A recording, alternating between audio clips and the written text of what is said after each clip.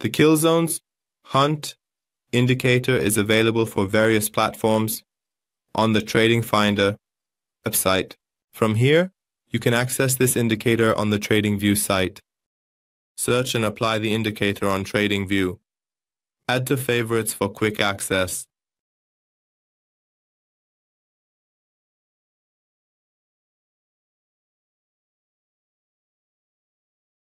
To access this indicator on the TradingView website, we search for the name of the indicator in the Indicators section and apply it to the chart by selecting it. For quicker and easier access to this indicator, you can add it to your favorites by enabling the Add to Favorite option. Once the indicator is applied to the chart, it starts drawing colored boxes to display the session ranges and kill zones for each area. For easier and more secure access to this indicator, add it to your indicators by activating the Add to Favorites option.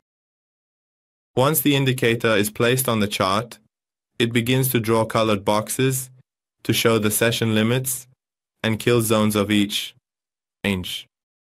Kill zone areas are time zones of each trading session that are known as the most volatile and most frequently traded time frames in each session, and traders can base their trading strategies on these kill zone areas. Traders shape strategies using three model systems, including hunting in the kill zone, breakout and pullback to the kill zone, and trading towards the kill zone. Initially in the kill zone, the range stabilizes post-session as prices consolidate, with the zones high and low fixed. If price hits these lines and reacts, it indicates a bottom. A breakout below suggests a strong reaction. In the first part, we have a stable area.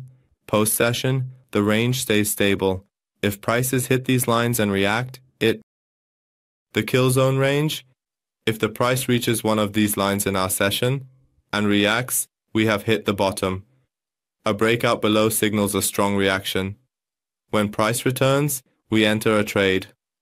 As kill zone time nears, if we break the low high in session, we enter a trade with breakout and pullback. Here, we enter a sell trade. We can enter a trade when it returns to the session and kill zone range.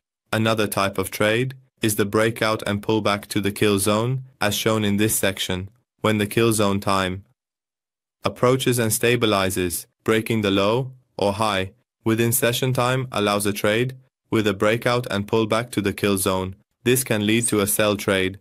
Finally, trading in the kill zone's direction is our last example. In an uptrend, identify the order block range as a limit order. When the price returns, enter a trade the order block is in this area. When the price returns and reacts to this order block, it moves upward. And finally, trading in the direction of the kill zone is our last example here. If we want to use this method, we have an uptrend here. And, by identifying our order block range, we can consider it as a limit order. When the price returns to that range, we can enter a trade and our order block is in this area. And we see that the price upon returning to this range and reacting to this order block has moved upward. Show info, color change, alerts, in this section, we have options. The first option is to show or hide additional information. We can see details like the time and trading volume in the kill zone, which is displayed here. You can also change the color to your preference. The next section is for enabling or disabling alerts. When alerts are activated, traders will be notified when the price reaches the highest or lowest lines in the kill zone. In the next section, you can enable or disable the display of the session.